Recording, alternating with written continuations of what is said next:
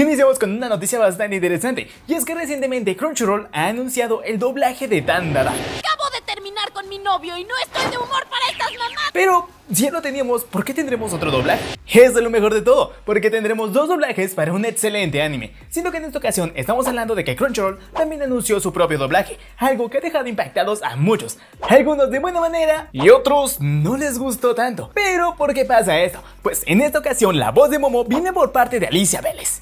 Ay, por favor, ya déjense. Y la voz de Okarun viene por parte de Iván Bastidas. Suelta su mano ahora. Siendo que, ok, muchas personas realmente les gustó porque en serio, tenemos algo muy claro en todo esto. Y es que el uso del mexicanismo está muy presente en este doblaje. Es bastante gracioso escuchar este tipo de cosas. Siendo que principalmente cuando insultan, oh joyita, realmente es bastante gracioso. ¡Infeliz patán!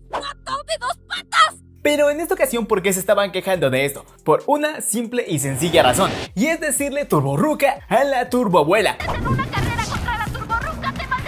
Ok, en teoría los dos términos están correctos, pero como que se empezó a hacer un poco el mame respecto a esto. Pues el término de ruca normalmente está asociado a una persona que ya está algo vieja. Pues muchas personas realmente están contentas de que tenemos un nuevo doblaje para un anime que de por sí ya tenía un doblaje. Es curioso que lo tengamos en estas dos plataformas. A final de cuentas es un ganar y ganar. Pues ahora tenemos un doblaje en Crunchyroll y en Netflix. Ambas plataformas son bastante buenas a su manera, tienen cosas muy específicas, por lo cual dirías, este doblaje está bueno y este también está muy bueno. Ambos en esta ocasión no decepcionan de ninguna manera. No hay algo que puedas decir que está mal y tampoco en ese está mal.